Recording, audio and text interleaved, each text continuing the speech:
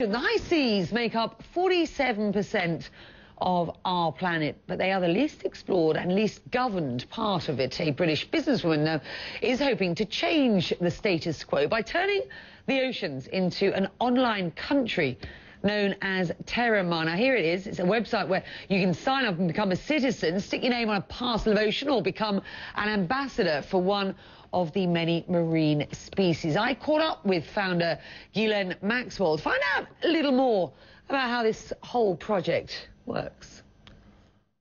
You've basically staked a claim to the high seas and you've called them Terramar. How are you able to do that? Um, well, first of all, it does belong to everybody, and up until now, uh, there hasn't been a defined area around it that everyone can sort of recognise. The high seas alone, it's an area that has some laws, um, inconsistent laws, areas where there are no laws, and conflicting laws. And the idea is, I'm not sure how is it possible that almost half our planet has virtually no governance and not one person that is looking after it for the benefit of all of us. So metaphorically, Terramar is a country with citizens. Right. All citizens of the world are citizens of Terramar mm. or hmm. citizens of the high seas, if you will, part of the global commons. But so that you feel a sense of identity, we're giving you passports to it. So when you go to the site, it's free, you sign in, and you get a digital passport to mm. Terramar.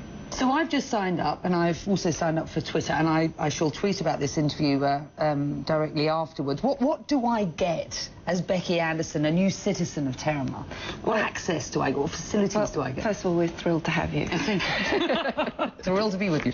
um, you will get a digital passport um, with your name and your ID number, and we will, uh, you will be able to follow the progress of the high seas. Anything that happens significant on the high seas now, mm. you'll be able to find out what's going on. We uh, have a million and a half marine species, and you can select one to be the ambassador to Terramar and be the spokesperson mm. for that species.